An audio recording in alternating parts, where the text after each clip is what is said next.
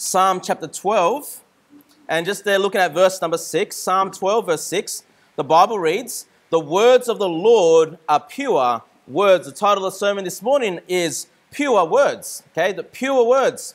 Now, what I want you to think about, I've, I've obviously preached through these verses before, you know, as we were going through the statement of faith for our church. And of course, I was focused on the pure words of God. And that's important. Hey, we, we believe that we have a perfect, preserved, pure word of God in our hands.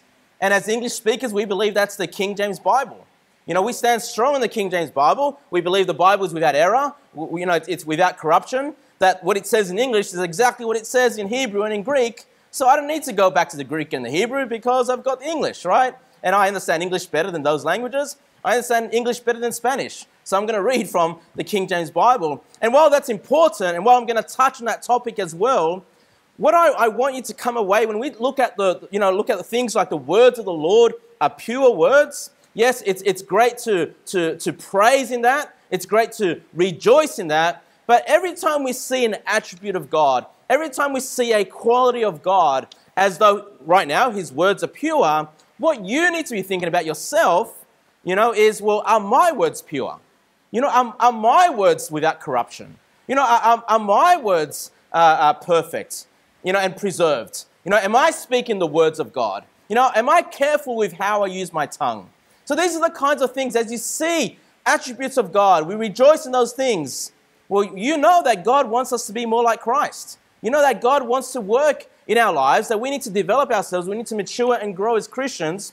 And the best person to compare ourselves with is not another fallen human being, but compare ourselves to God. You know, do we love the things that God loves? Do we hate the things that God hates? You know, are, are, we walking with the Lord? Are we walking in the Spirit? These are the things that you always need to be keeping in the back of your mind when you see attributes of God.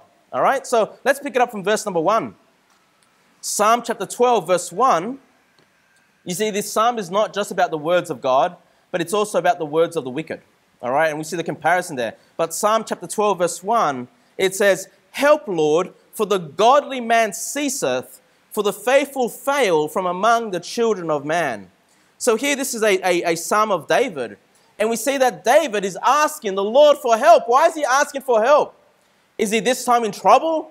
You know, is he in, in warfare at this point in time? No, he's asking for help this time because he sees godly men, he sees faithful men uh, cease. He sees godly men fail. All right? And this is a, re- a sad reality that hit home, to, hit home with me, you know, as I, was, as I was growing in the Lord, was seeing pastors, godly men, men that you look up to, cease. Godly men that you look up to, fail. You know, commit some, you know, uh, terrible sin, destroy their ministry.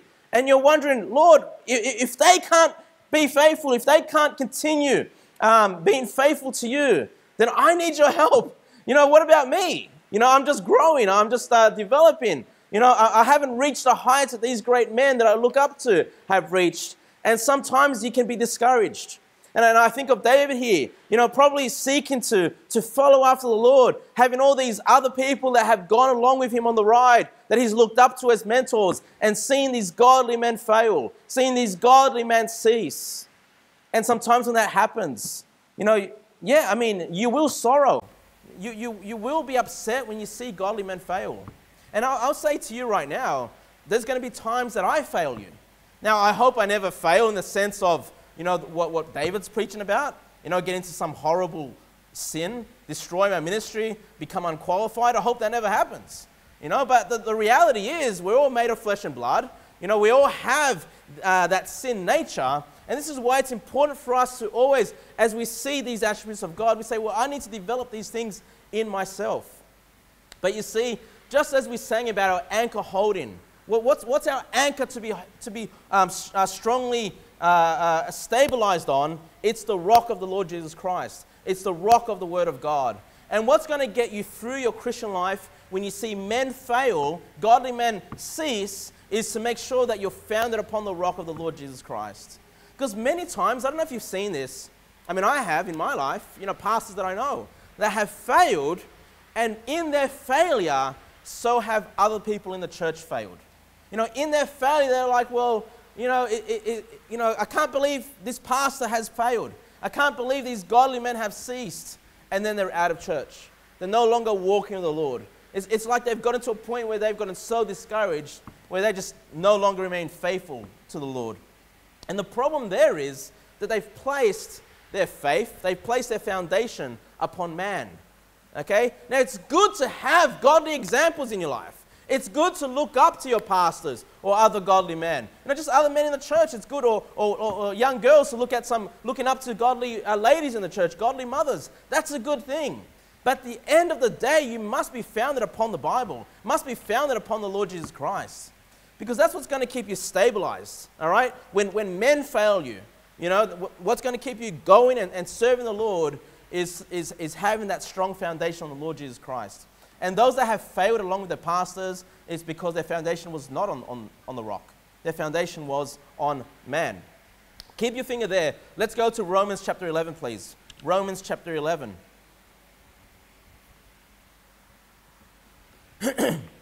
Romans chapter 11, verse 2. Give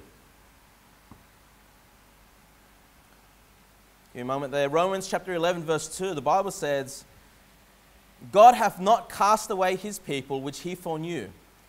What ye not what the scripture saith of Elias, how he maketh intercession to God against Israel, saying, Now look, at the words here of Elias or Elijah.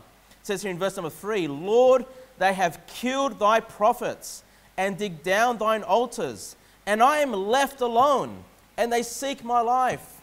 So we see here the prophet, you know, uh, uh, uh, asking the Lord for help.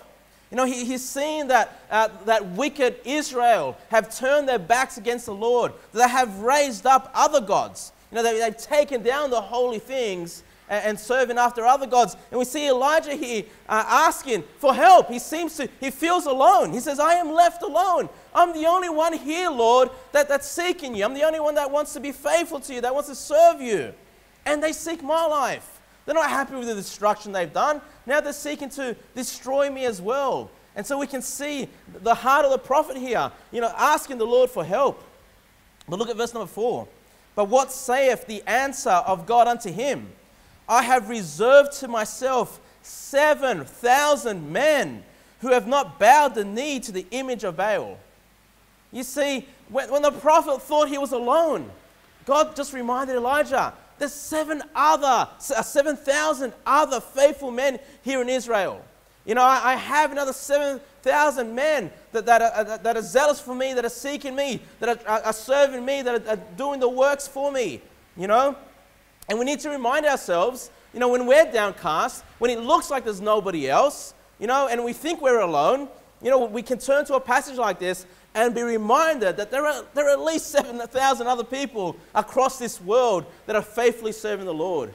And if you can just bring your remembrance to that, that's going to encourage you, right? It's going to encourage you to know there are other people, you know, that have not bowed the knee to Baal, okay, that are still seeking to serve the Lord. All right? So you're never alone. There's never going to come a time when you're the only one trying to serve the Lord. Okay? There's always other faithful men.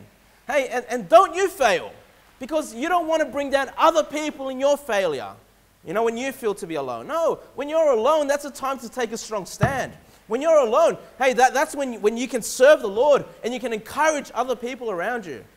All right? Back to Psalm 12, please. Psalm 12, verse 2. The Bible says, remember, we're, look, we're looking at the pure words of God, but now we're looking at the words of the wicked. It says here, they speak vanity. You know, vanity is emptiness, you know, worthless, worthless gossip, if you want. You know, they speak vanity, everyone with his neighbor. With flattering lips and with a, double tongue do they speak. And we need to be careful as we look at this. You know, are you a flatterer? Do you have a flattering tongue?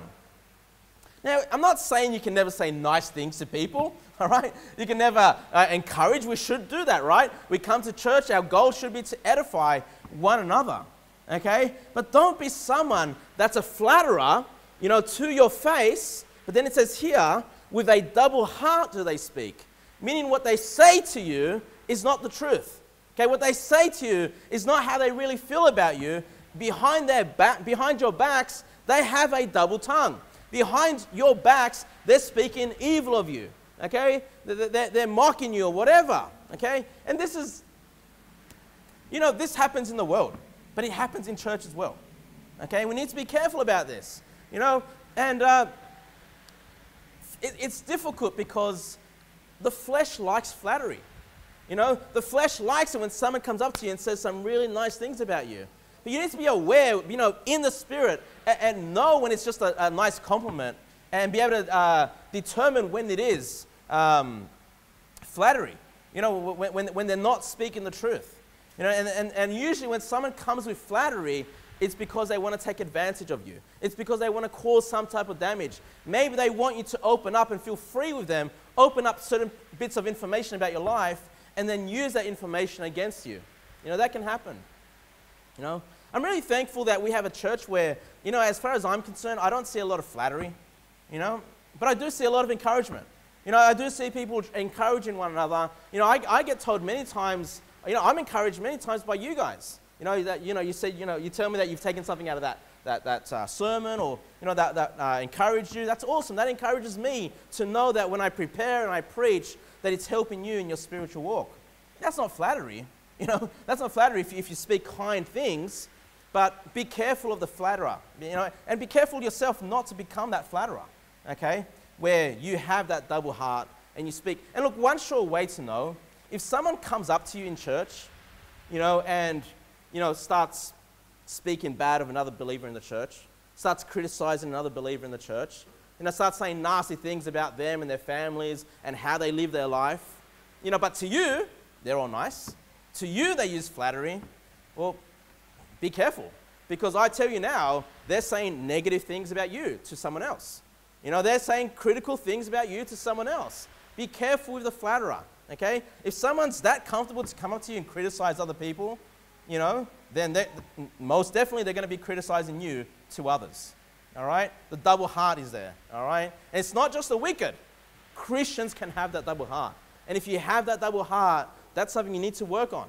Okay? It's something you need to change. That's something you need to go to the Lord and say, Lord, I want to have pure words like you do. I want to make sure my words are without corruption. I want to show my words are edifying and not taking down my fellow brethren. You know, I'm, I'm, look, I'm sure we can all relate to that. I can relate to that okay? I can relate to that. I, I know that in my life, I can have better words. I can have more pure words, okay? So, you know, yes, always be aware of others, but beware of your tongue, okay? Now let's keep reading verse number three. Look at this. The Lord shall cut off all flattering lips and the tongue that speaketh proud things. Now turn to James chapter 3, please. This is important that we go here. James chapter 3, one of the best passages about our tongue, all right? But you see how God hates the flattering lips, that He's going to cut it off, okay? If you're a flatterer, expect God to bring down His chastisement upon your life. Let's go to James chapter 3. And it said there in, in uh, Psalms 12:3 that the, the tongue of this wicked person speaketh proud things. This is another way to know whether your words are pure, whether your words are edifying. Do you speak proud things? You know, are you a self promoter? You know, do you lift yourself up at the same time putting down other people to make you feel better about yourself? I've come across this a lot in church. You know, where people will put down you or put down your family or put down other families to make them feel better about themselves. There's no need. Look, if, if, you're, if you're comfortable and, uh, and, you're serving the Lord, you're, you're walking in the paths that God gives you, the commands that He gives you, you know, if, if you're doing everything that you know to serve the Lord, all right, you're going to have confidence in the Lord. You're going to have confidence in the rock of the Lord, right? You're going to, you're going to know the Lord is pleased with me, and you're going to be walking that path regardless. But the person that tries to put down other people to make them feel better about themselves, they haven't got confidence in themselves. In fact, they're very insecure about themselves, but they speak proud things so that others think that they're a righteous person. They speak proud things, putting down other people to make them feel better about themselves. That's not how you should conduct yourself. You know, if you're happy with the way you're doing things, you know you're serving the Lord, your confidence ought to be in the, in the Word of God. Hey, I'm following the Word of God. I don't need to put down other people. You know, let, us look at James chapter 3, verse 3. James chapter 3, verse 3. Behold, we put bits in the horses' mouths that they may obey us, and we turn about their whole body. Now, I've tried to ride horses a few times. I'm really bad at it. You know, I'm, I'm, I'm horrible at, at, at, controlling horses. But obviously, we see that, you know, with, with the uh, utilities that we have, uh, you know, you can control a, a horse that's more powerful than you okay, by putting uh, that bit, so it says there, in the horses' mouths. And we see this becomes an illustration for our mouths. You know, how we can control ourselves using our mouths. Verse number four, it says, Behold also the ships, which though they be so great and are driven of fierce winds, yet they are turned about with a very small helm, whithersoever the governor listeth. So big ships in the oceans, you know, what controls them? What, got, what gets them to turn? It's just a little rudder. It's just a little rudder. Compared to the size of the ship, it's just a small part of that ship that controls where it goes. All right? And of course, this leads us to our tongue. It's such a small little muscle in our mouths there, right? I mean, compared to the rest of our body, it's, it's tiny, but it's powerful, okay? It's powerful. Look at verse number five. Even so, the tongue is a little member and boasteth great things. What do we see in Psalm 12? The boasting of the tongue, right? The, the tongue boasteth great things. Behold, how great a matter a little fire kindleth. You know, when I see uh, conflicts develop between uh, people in church or between brethren or just out, many times the conflict is a little fire. You know, many times, it, but here's the thing about a little fire. You know, you go to a forest where it's dry, you light a little fire, what's going to happen? It's going to burn the entire thing up, right? You start a campfire, a little fire to keep yourself warm, and if you don't maintain it, you don't put it out after the camp, it's possible that that fire can, can cause great damage. Of course, I'm sure you've all seen little fires start and become greater things, you know? And, you know, while the fire is little, it's easy to put out. You know, and if you find yourself in conflict because your tongue's a bit of a fire, my encouragement to you is sort it out straight away. Sort it out as soon as possible while it's a little fire. It's easier, okay? Before it starts to burn down the entire forest, then it's really hard. It's really hard then to manage conflicts, all right? But you see, the tongue is able to do great damage. Verse number six. And the, uh, and the tongue is a fire, a world of iniquity. Hey, this is your tongue, all right? What does God say about your tongue? It said the tongues of fire are a world of iniquity. Iniquity is another way of saying sin. All right? Your tongue has an amazing ability to commit sin. All right? Your tongue, our fallen nature, my tongue. All right? So I, I want you to think about yourself here. I don't want you to think about other people. Think about yourself, please. You know, even so the tongue is a little member, sorry, uh, a word of iniquity, verse number six. So is the tongue among our members, and it defileth the whole body and setteth on fire the course of nature, and it is set on fire of hell. Hellfire. God compared the fire that you can uh, uh, uh, cause through your tongue, God compares that to hellfire, to the same fire that God uses to punish the wicked in hell. You can cause that same damage with your own tongue. Have you thought about that? You if that's the case, don't you think we need to control our tongues? Don't you think we need to make sure that we have pure words? We control ourselves? You know, it defiles the whole body. Your tongue speaks perverse things, your whole body is defiled. We saw here in that, that passage. Verse number seven For every kind of beasts and of birds and of serpents and of things in the sea is tamed and have been tamed of mankind. So that's, you know, if you've got a pet, you know, you've tamed that pet to live in your house or some animal but the tongue can no man tame. It is an unruly evil full of deadly poison. Can you tame your tongue? Bible says no man can tame his tongue. All right? It's a wild animal. Hey, what do wild animals do? Why do we avoid wild animals? Because they can harm us, they can attack, right? They're, they don't uh, uh, behave the way a domesticated animal behaves, right? Your tongue, you cannot tame your tongue. What does that tell you then? Because we ought to tame our tongue. We ought to do it. So, how are we going to do it? There's only one way that's through the power of God. Okay? That's, uh, we need to go to the Lord and ask Him to help us control our tongue. We need to be walking in the Spirit. Okay? We need the power of God to be able to tame our tongue because you yourself will not be able to do it. Okay? Verse number 9 Therewith bless we God, so we bless God with our tongue, even the Father, and therewith curse we men, which are made of the similitude of God. Okay, out of the same mouth proceedeth blessings and cursing. My brethren, these things ought not so to be. You know, so hey, your tongue. We come to church, we sing praises. You know, we thank God for what He's done. We, we lift up His name, right? That's good. We bless God. But then do you turn around and, and criticize your brethren in church? You know, when you get home, do you say, well, you know, family so and so, you know, child so and so, you know, and, and, and curse the brethren? These things ought not to be so. All right? If your tongue is able to bless the Lord, then your, that same tongue, guess what? It can edify the brethren. It can help and instruct the brethren. Okay?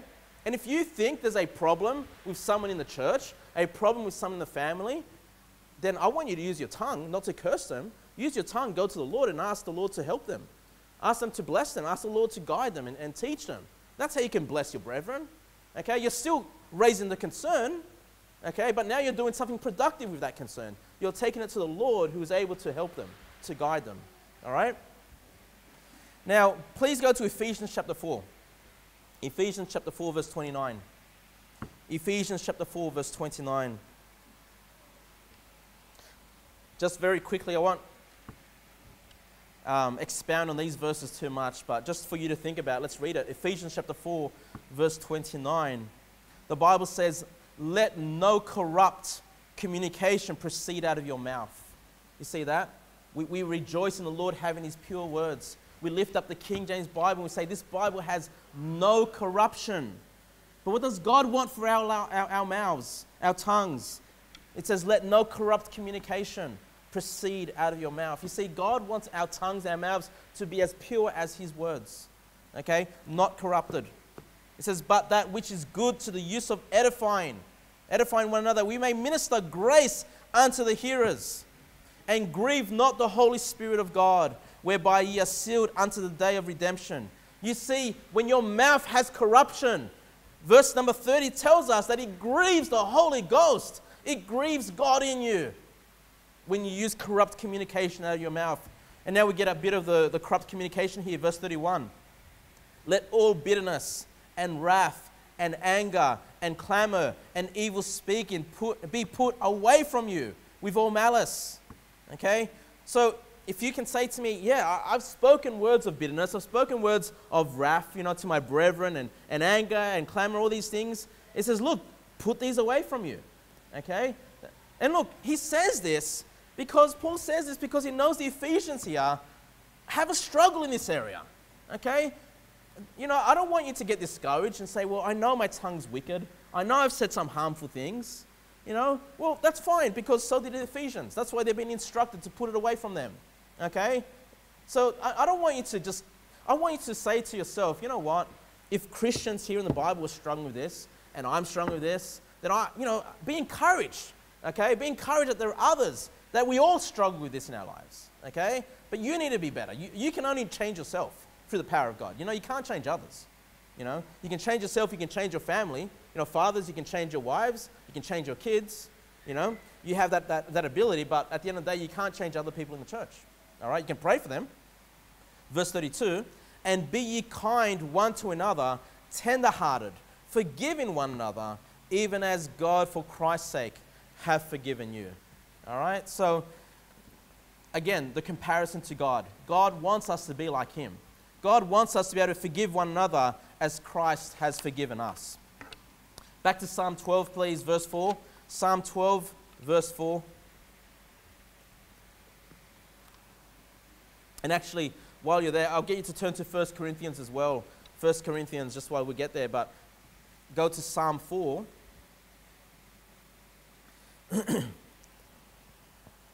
Psalm 4, it says, Psalm 12, verse 4, sorry, it says, Who have said, With our tongue we will prevail?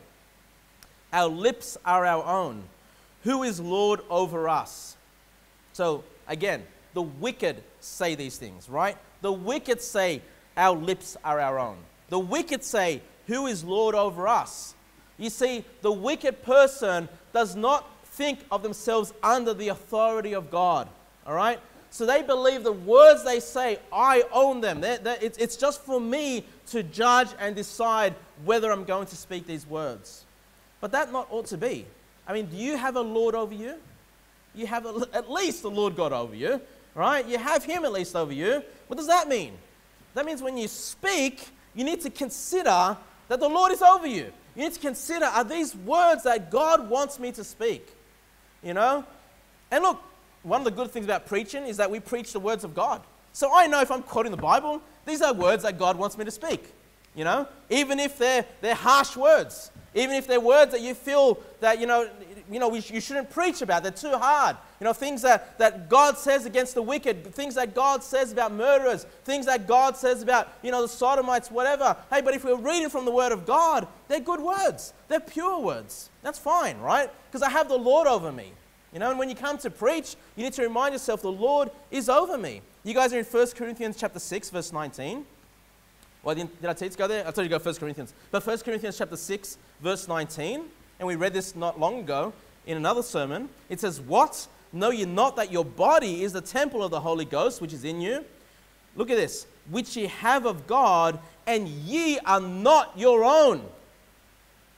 Oh man, I'm my own man, you know? You know, I only take orders of one person, me. No. So it's here, you are not of your own. Okay, ye are not your own. Why? Verse 20. For ye are bought with a price. Hey, you've been purchased. Not just the new man, it says here your body, even that flesh has been purchased by God. All right? You've been purchased with a, bought with a price. Therefore, glorify God in your body and in your spirit, which are God's. You see, it's not just the spirit, not just the new man that belongs to God. When you got saved, even this fleshly, fallen body belongs to God. All right? Even this fleshly, fallen body, everything you do in this body, and we're talking about here your lips, your tongue, the things you speak, you need to put into consideration is God happy with these words that I speak? All right? And again, we all fail. I fail. You know, I fail at these things. This is why we need to hear these things and work on these things. Please go to uh, chapter 3, 1 Corinthians chapter 3. Just to confirm this once again, 1 Corinthians chapter 3, verse 21. 1 Corinthians chapter 3, verse 21. The Bible says, Therefore, let no man glory in men. Okay, you say, why is that a problem? Why, why should I not glory in other men? Because as we saw the psalmist, he saw the godly men fail. He saw them cease in, right? And when you glory in men and they fail you, it's going to have harmful effects upon you. Let's keep reading. It says, For all things are yours, whether Paul or Apollos or Cephas or the world or life or death or things present or things to come, all are yours. You know, God gives us great freedom to enjoy what He's given us in this life. But look at verse 23 and ye are Christ's, and Christ is God's. All right? So even Jesus Christ has a Lord over him. Even Jesus Christ belongs to someone above him. This is where we get the teaching on the Trinity, where there's a, a chain of command, where there's an authority structure. You see, God the Father is over the Lord Jesus Christ, even though they are equally God but they are not equal in authority. You know, the, the Lord God is above Christ, but we belong to Christ. We are Christ. We are under the authority of the Lord Jesus Christ. Okay? This is why we should not glory in men. We should glory in all the things that God has given us, but the boundaries that we keep that within, the, the control that we put around that, is making sure and, and understanding that we're under Christ. And to remind ourselves, whatever we do in our lives, you know, that, that, it, that we, we recall the fact that we belong to God. Back to Psalm 12, please, verse 5. Psalm 12, verse 5. It says here, for the oppression of the poor. So this is where the wicked, the one that speaks wicked things from their lips, they oppress the poor. For the oppression of the poor, for the sign of the needy. Now will I arise, saith the Lord. I will set him in safety from him that puffeth at him. All right, so we already saw that the wicked boast of proud things. All right? And once again, we see here that the wicked is puffing himself up against the poor and the needy. Now, as I was reading this, I don't, I don't, I actually believe the poor and the needy here is a reference, more of a uh, sort of more of a figurative way of, of, talking about believers. Okay, not so much some, someone that is without, uh, you know, uh, as far as possessions and material wealth. I don't think that's the reference here. It's kind of like you know the Sermon on the Mount where God says, you know, blessed are, are the poor, you know, for they shall. Ah, no, that's the pure. That should, anyway, you know what I'm referring to. Where God sometimes refers to the poor and the needy in the spiritual sense. Okay? So, in the spiritual sense, we are all kind of poor. You know, we, we, at least to the point where we needed the salvation of the Lord. We needed to be purchased by the blood of the Lord. But also, once you're saved, you still need, you know, the, com- the communion with the Lord. You still need to grow and develop and mature and, and gain things. And you, we start poor as a believer. And then as we work and we follow after the Lord, we gain riches, don't we? We become more mature. We start placing our treasures in heaven and we start to grow. And so that's what I believe the reference here in, in Psalm 12 is. But let's just keep going. Verse number six. The words of the Lord are pure words, as silver tried in a furnace of earth, purified seven times. So I just want you to notice that when the Lord sees the wicked, you know, persecuting the poor, let's say the poor in spirit, or even the poor in general, you know, those that, that, uh, that are needy, those that cannot defend themselves against the wicked, then the Lord does rise up, it says there, right, in verse number five. Now will I arise, saith the Lord, right, and I will set him in safety from him that puffeth at him. Hey, so if you're being attacked by someone, if people are saying wicked things about you or your family, guess who's going to stand up for you? The Lord. It's, it's such a blessed thing to know as a child of God, when someone's attacking me, all right, my family, the people that I know, it's like, where do I turn to? You turn to the Lord. You turn to Him. He will stand up for you, all right? He will defend you. And one thing that I've, that I've had to learn in my life, as a Christian, in my Christian life, is that I don't always need to defend myself. I don't. You know? And, and one thing that I learned is that if, I, if I'm constantly defending myself, I'm satisfying the person that puts me down.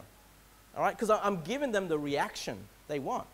You know, they, they say something bad about you, and you're like, no, I'm not, or whatever. You start defending yourself. It's like, yeah, I wanted you to get emotional. Okay? I wanted to, you know, uh, uh, piece through your, you know, uh, into you and make you uncomfortable, make you unsettled. One thing that I learned is that if, if people say wicked things to you and you just blow it off, usually the person that's saying those wicked things gets all upset because they're not getting the reaction that they want. That's fine. And then I learn in the Bible, well, not only does it bother the, the wicked, or not, not only does it bother the person that's trying to put me down when I don't react, but I know that God's going to stand up for me anyway, and God's going to take care of business. That God's going to cut off those flattering lips, you know, that, that double heart or whatever you know? And as I, as I grew and matured in the Lord, I just developed thicker skin. You know, things don't, no longer really offend me, you know? Um, so many times, the wicked might say something or boast of themselves. I just let them own it. They can have it. You know, if you, you speak great things about you, you know, the great successes in you, you know, how, how great of a person you are, all right, good on you. you know, yeah, I, I don't need to take them down necessarily all the time. You know, yeah, good on you. And when you take that approach, it usually bothers them once again.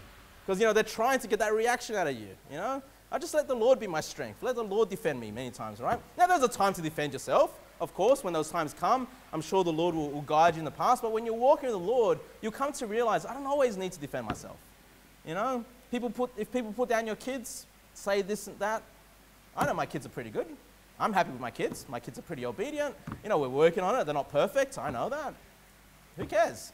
You know, I mean, because I'm confident in what we're doing. I'm confident that we're applying the principles that God gives us in His Word.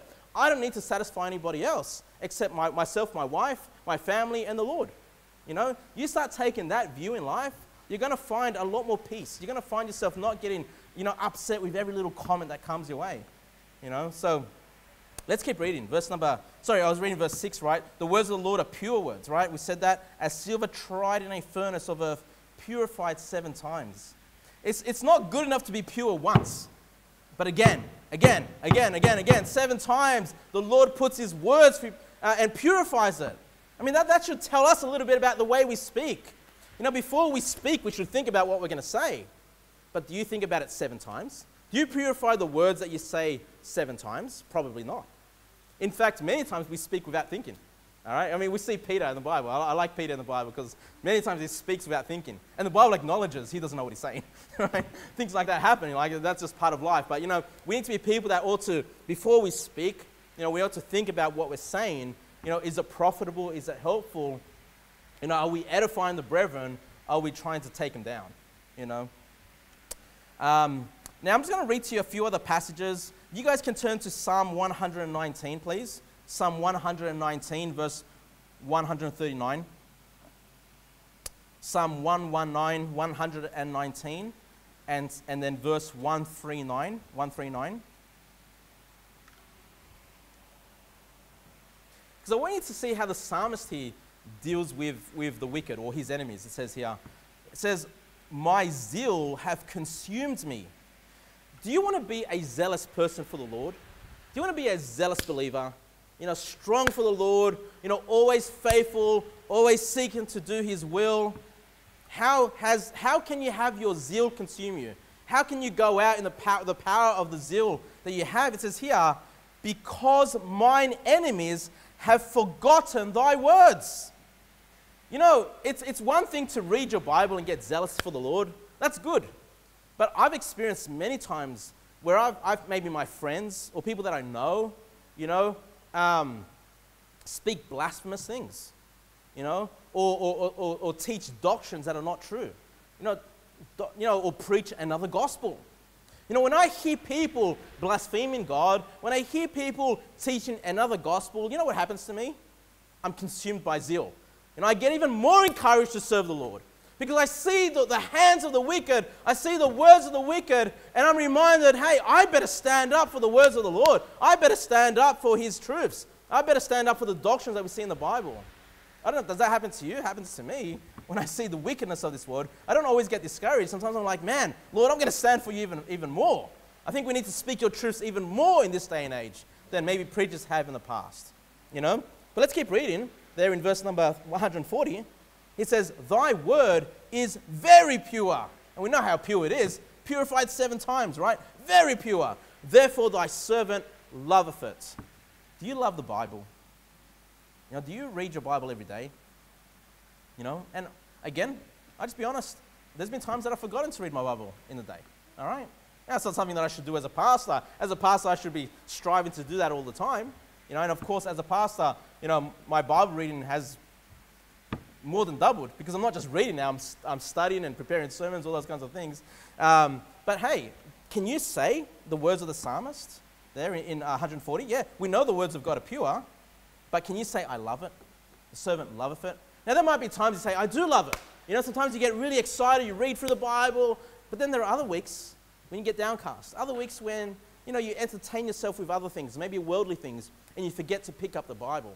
Well, at that point in time, guess what? You don't love the Word of God. At that point in time, you love other things above the Word of God. All right? You need to come back with a mindset here and love the pure words that God has given us. I'm going to read to you, just you don't need to turn there, you can go back to Psalm 12. I'm just going to read to you from Proverbs, Proverbs 30, verse 5, just to affirm this every time. It says, Every word of God is pure. Every word, every word, okay, is pure. Every word here in our King James Bible is pure. We don't need a new King James Bible. We don't need someone to come and change these words when they're already pure. Every word that, that, that we have here is pure. Okay? He is a shield unto them that put their trust in him. And then it says, Add thou not unto his words, lest he reprove thee, and thou be found a liar. You know, and I encourage you, you, you may not always be a member of New Life Baptist Church. You know, you might end up moving at some point in your life. You know, the Lord might direct you in other areas. And what I would always encourage you, wherever you go, even if it's holidays, that you go to a place where you know there is a, a church that loves the Word of God. Okay? That, that, uh, because it says there, right, that, um, sorry, let me just read it again. It said there, uh, He is a shield unto them that put their trust in Him.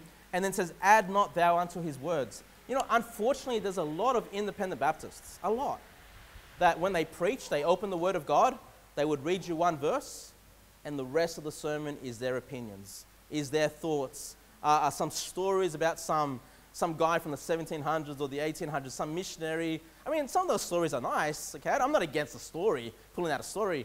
But you know what? I don't even know these people.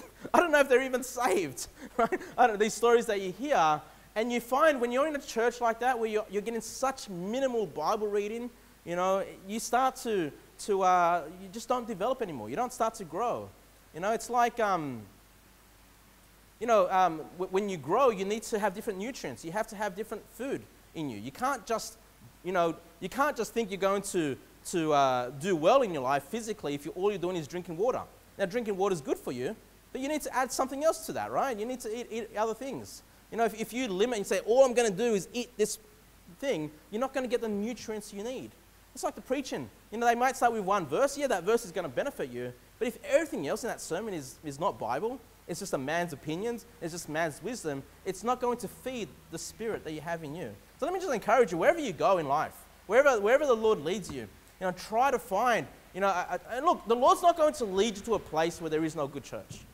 If you find yourself in a place in life, not that not that's where you started, because we all start somewhere, but if you end up starting in a good church or, or being in a place where, where and, then, and then the Lord leads you, but the Lord, or, or you say the Lord is leading me here, but there's no good church, okay, then that's not the Lord leading you. That's not the Lord leading you. That's you, that's you leading uh, yourself. All right, so let me just keep going. Uh, Proverbs 15, verse 26. It says, The thoughts of the wicked are an abomination to the Lord, but the, the words of the pure are pleasant words. I just, want, just want to park it there for a moment. But the words of the pure are pleasant words. You know what God says about us? He calls us pure. say, why? I'm not pure. Yeah, because you're pure because you have the righteousness of Christ imputed upon you. That's what makes you pure. Okay? And the Lord says the thoughts of the wicked are an abomination to him, but he wants of us that our words are pure, right? Of the pure are pleasant words. Do pleasant words come out of your mouth?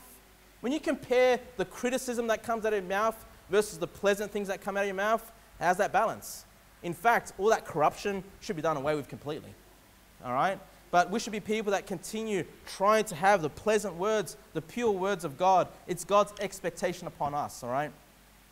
Back to uh, Psalm 12, verse 7. Psalm 12, verse 7. It says, Thou shalt keep them, O Lord. Thou shalt preserve them from this generation forever. Now the question comes well, what will God keep? What will God preserve from this generation forever?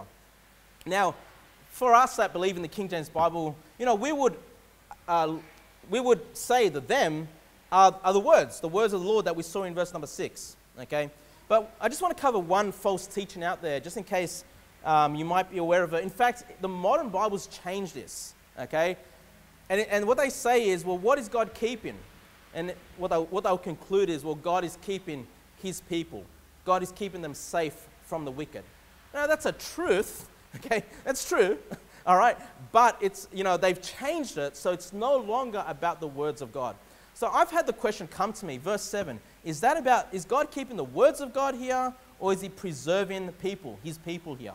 You know, what is he talking about? And let me just give you some, some uh, my reasons why I believe this is referring to the word of God. My first reason is because I believe it's just a natural reading of the psalm. You know, I put a lot of weight into the natural reading of the Word of God.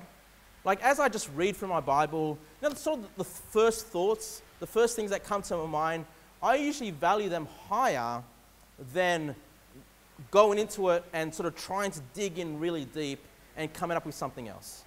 You, I mean, I'm not saying you can never dig in deep and study and all that stuff. It's important, okay? But don't dismiss the natural reading. The things that sort of come to your mind as you're reading, they're usually the first things, like that's usually the first um, application that God wants you to apply to that, to that passage, all right? Just as a natural thing. So, just as a natural reading, I think, yeah, I mean, the word, he just mentioned the words in verse 6. If it's not talking about the words in verse 7, it's such an odd thing to just bring up the words in one verse there when he's talking about the, the words of the wicked, and he's just bringing up his words, it's one verse, and then that's the end of it. it just seems very. Um, unusual for, for me, for it to be just this random verse that pops out. Um, but uh, the, the, so that's one reason, just the natural reading of the psalm. But the, the second reason is the use of the pronoun. Okay, the use of the pronoun them. Thou shalt keep them, O Lord. Thou shalt preserve them from this generation forever. Now, if you just look at verse number, verse number five, verse number five, it says, For the oppression of the poor, for the sighing of the needy, now will I arise, saith the Lord. I will set him in safety from him that puffeth at him. Okay? So we see how when God stands up for the needy, for the poor, he refers to them in verse number 5 as him, all right, not as them. Now, if God said them in verse number 5, I think maybe you could conclude verse 7 is about the poor and needy. Okay? I think you, that, that would be a fair. But you can see, I believe every word of God is pure. All right? So verse number 5 refers to the poor and needy as Him. And so what I believe verse 7 then is talking about is because God uses the words them, is obviously uh, the words of God. You know, the, the, the, the words of God. So just to give you some other examples of this, you don't need to turn there, just very quickly. Exodus 35, verse 1, it says, And Moses gathered all the congregation of the children of Israel together and said unto them, These are the words which the Lord hath commanded that ye should do them. Okay, so when, when God refers to his words, he does use the pronoun them. And then John 8 47, he that is of God heareth God's words, ye therefore hear them not, because ye are not of God. So when we compare scripture with scripture, we see that God can commonly refer to his words as them. And so what I see there in, Psalm 12, I mean, maybe this is not interesting for you, but I have had that question asked of me before. You know, what is God speaking about there in verse number 7? I think it should be clearly about the words of God. Okay? And if we conclude that, thou shalt keep them, then we know that the Lord will protect his words. It says, thou shalt preserve them. Whose job is it to preserve the words of God? Thou shalt preserve them. God will preserve them. Okay? Now, if man was tasked to preserve the words of God, then I can expect that the words will be corrupted because man is corrupted. Okay? I, I, I could expect copyist errors. I could ex- accept those, those ideas out there that, well, the Bible's been translated so many times, it no longer really means what it used to mean back, back in the days, right? I can sort of understand that if God put man in charge of preserving. But the Bible tells us it's not man's job to preserve, it's God's job to preserve his words. And if God is without corruption, if God is preserving his own words, then it makes sense that it's preserved from this generation, the generation that it was written of here in the Psalms, forever. That includes us. That means we can be sure that we have the perfect, preserved, pure words of God's in our hand. You know? This one, right here. I'm not, I'm not just lifting this up like uh, the average pastor or preacher and says, you know, we believe we got the perfect, inerrant words of God in my hand. But then they'll go back to the Greek and the Hebrew and, and correct it. No, I believe every word here is pure. I believe this English translation is perfect. Perfect. You know, this is all you need in life, guys. You know, you could do away with every other book Every, you can do away with every dictionary if you want. You know, every book that's written about theology. You know, every other translation. You don't even need to learn Greek and Hebrew. You take this book, these are the perfect, pure words of God. This is the instruction for you in life, you know, and you can use this as a dictionary as, as well. Often, the, God will uh, define difficult words for us, even within the King James Bible itself. You know, God often uses repetition. So when we read something, we're not sure what that's saying. God might say it in a different way and be like, oh, I get that. And then you can understand. And God has, a, has an amazing way, you know? And I would say, parents, please, yes, you know, the English is a little different to the way we speak today. But you know what? And you, you know, you could fall into the trap of thinking, well, my kids can't understand this. That's not true. You know, I mean, I've got 10 kids, and oh, well, not all 10 can read. Who can read? Up to Sebastian so far, and Johnny's almost there. Johnny's almost there, all right? So We've got, I've got five of my kids that are actively every day reading this book, okay? And then I task them every time they read a chapter, they've got to summarize in their own words in their notebook, just a summary of what they've read, okay? And of course, the younger ones, they're more likely to copy a little bit of what's in there, but the older ones will use their own words. Why? Because they can understand it. They can understand it. it you know, I, I didn't, I, I, struggled a little bit because I was, you know, as a teenager, I was reading from the NIV, the New King James, all these kinds of things. When I got to the King James Bible, I was struggling a bit, you know. Uh, but after a while, the Lord gave me understanding. The God opened, God opened up my eyes and helped me to understand these words. Little children can understand it. If you get your child to understand at an early age, just how knowledgeable are they going to be when they're an adult? I think, I mean, much more than I am. you know, much more, you know, please, you know, don't underestimate your children. Don't underestimate your children, don't you think God loves your children to the point where He would have written a book where they can understand it? Of course, you know. Don't, don't get carried away. I'm not against child books about the Bible, I'm not, I'm not against that, okay? But don't let that replace the Bible reading, okay, of the King James Bible. Now, uh, where can I, how can I wrap this up? I'll just skip what I've got. I've, I had some other things here. I'll skip them for now. Um, I just wanted to. No, you know what? I want, I want, I to skip one part here. Because all I want to say is like, literally that there are over 100 Bible translations in English. Maybe, maybe over 200 now. I, when, when I was uh, like in my early 20s, people would say there's over 100 English Bible translations, right? Probably, I'm almost 40 now, I'm 37, right? But maybe now there's probably 200 English translations. I mean, I feel like every time I look at this stuff, there's always some new Bible out there. It's just always. It's like every year there's like some type of new English Bible, okay? But I just wanted to quickly bring to your attention the, the, the, the other four best selling Bibles that we have in English today and what they say about the King James Bible, okay? And this is, this is one reason why I believe the King James Bible is the perfect preserved Word of God.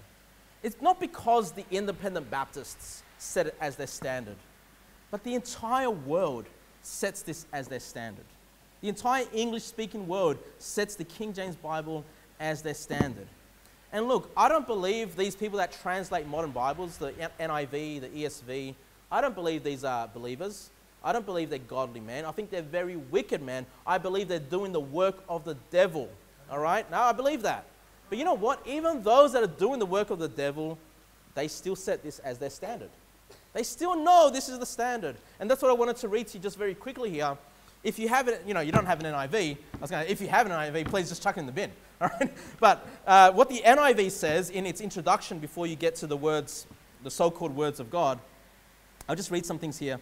It says the initial vision of the project was provided by a single individual an engineer working with General Electric in Seattle by the name of Howard Long.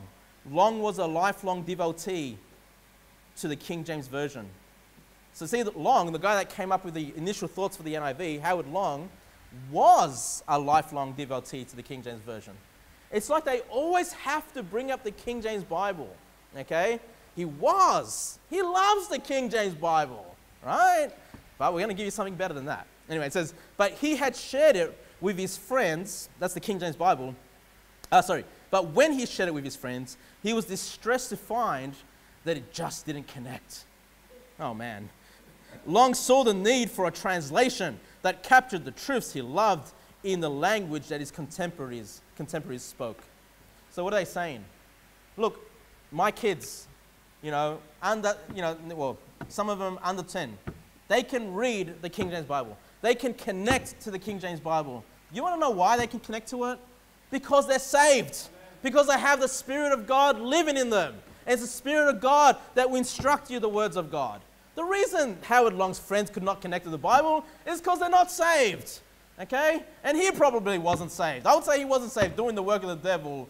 You know, but do you notice that they always go, oh, we love the King James Bible, but we need something that's more understandable, you know? We want to reach our friends, don't we? How many of you turn to John 3.16 when you go soul winning? I mean, I think most of us do. You read it out to them, and they're like, what are you saying? I don't understand a word you're saying. Look, when you're preaching the gospel at the door, I mean, I've never had anyone say to, unless they're not English speakers, because then it's like, I don't, I, I don't speak English. Oh, that's, that's something different, right? But I've never had an English speaker say to me, I have no idea what you just read there. Okay, they, they understand it. Okay, why? Because someone with the Spirit of God is expounding to them the Word of God. Right? You need to have the Spirit of God to understand the Word of God. Let's keep going. Uh, the ESV, what does the ESV? It says here, the words and phrases themselves grow out of the Tyndale King James legacy. All right, so, oh man, you know, the ESV, oh wow, it has a history apparently in the Tyndale King James legacy. And most recently, out of the RSV, with the 1971 RSV text providing the starting points for our work. I mean, what in the world?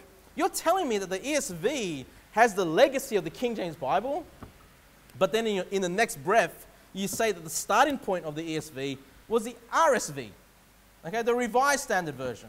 That makes no sense. I thought you're following the legacy of the King James Bible. But do you notice that they always need to call back to the King James? Because they know what the standard is. They know. The New King James Version. The New King James Version. It says he commissioned in 1975 by Thomas Nelson Publishers 130 respected Bible scholars. I mean, I don't respect them. I don't know who, who respects them, but apparently they're respected Bible scholars. Church leaders and lay Christians worked for seven years to create a completely new, modern translation of Scripture, yet one that would retain the purity, pu- look at this, purity and stylistic beauty of the original King James. So they're saying the new King James, they're trying to retain the purity of it, the beauty of it. Look, if it's pure and beautiful, why do we need some other Bible? You see, they call back to it. They will call it the New King James. It's got nothing to do with King James. King James died, you know, hundreds of years before the New King James came into existence. You know, King James, you know, he didn't translate this Bible. It's not called the King James Bible because he wrote it or he translated it. He commissioned others to translate the Bible. In fact, it wasn't called the King James Bible, it was just called the Holy Bible. It's called the authorized version of the Holy Bible. That's all. You know, we call it the King James today because we need to differentiate it from all the other hundreds of other translations that are out there. I just want to show you these, these modern popular Bibles, always calling back to the King James. And I'll just read to you from the uh, New Living Translation. I found this on their website. It says, in the past 150 years, scholars such as uh, Tischendorf, Tregelles, Westcott and Hort, Nestle, and Aland have produced editions of the Greek New Testament based on the evidence of the earlier and superior manuscripts. I want to stop there for a moment. If you guys know a bit of history of, of uh, the manuscripts, the Greek uh, manuscripts, they're saying that Tischendorf, Tregelles, Westcott, and Hort, hey, these are those that put together a corrupted Greek translation, all right? A, a, a, a corrupted Greek manuscript. And they're calling this the superior manuscripts. That's their problem number one. They're not going with the received text. They're not going with the majority texts that were used by Christians for centuries. They've gone with other texts which were dug out of a monastery or found in the Vatican or whatever it was.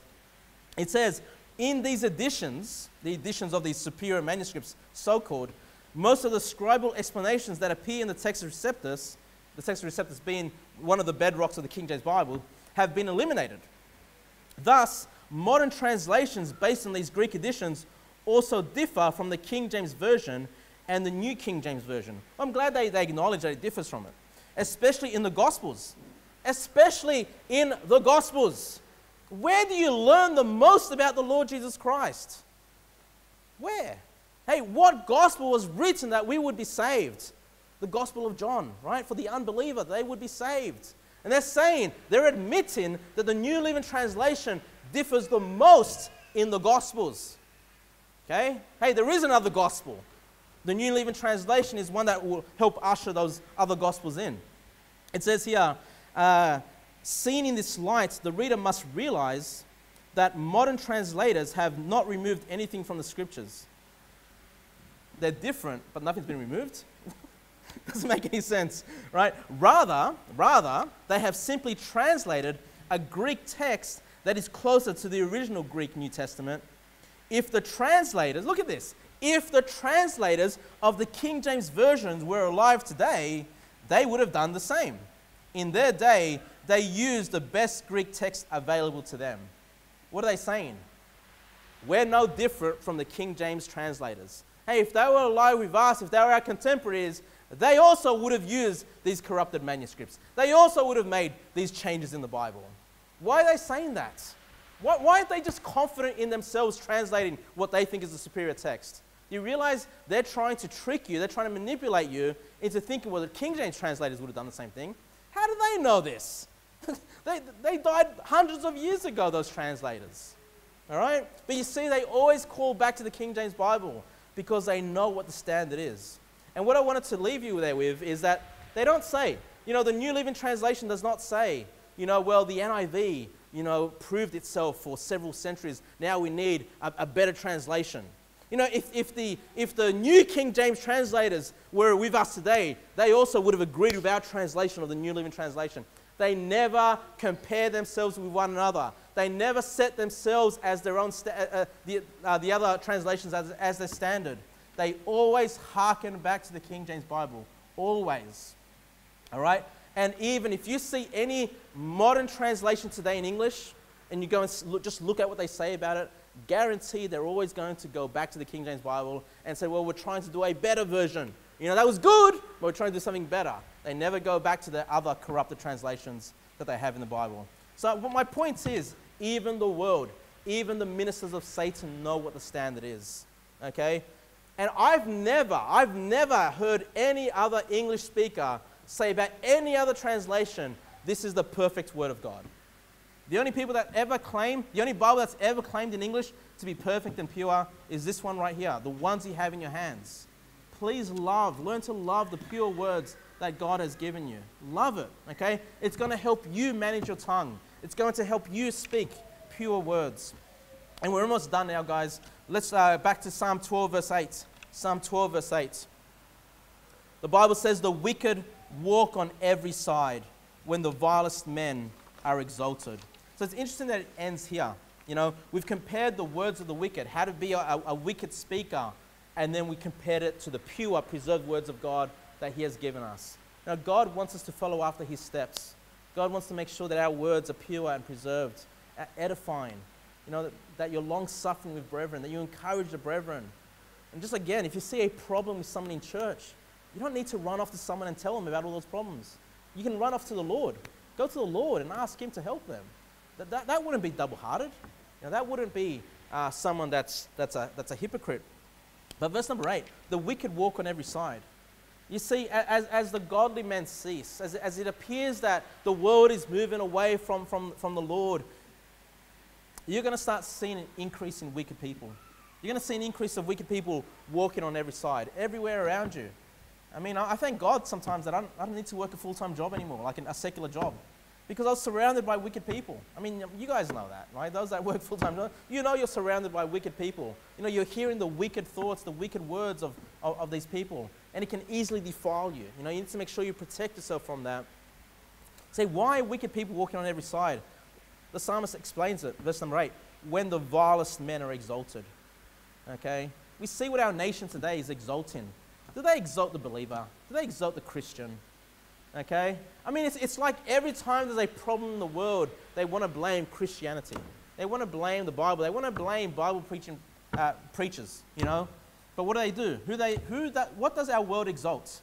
They exalt the vilest men, you know? To, to be vile is to be disgusting, to be impure, you know, versus the pure words that we saw in God. And you know what? Our, our, our government is made up of vile, vile men. The churches, many churches that once preached the truth, the preachers, false prophets, vile men. You know, vile men have been exalted in this world. There's a lot of vile, wicked men in, in authority today. There's a lot of wickedness in the schools today. The teachers that teach, you know, our, our public school children, you know, they're, they're wicked men, they're vile. We're going to continue seeing this wickedness come in, in this life. But I don't want you to be discouraged, you know. You, you can avoid the wickedness, you can. Just come back to this word, okay? the pure words that God has given us, preserved from this generation forever. God's preserved it for you, for you to read it. Please, you know, to escape. You need to escape the wickedness in this world. You need to refresh yourself with the Holy Spirit of God. You, you, you need to do it through this book, right? The King James Bible. I'll leave it there. Let's pray.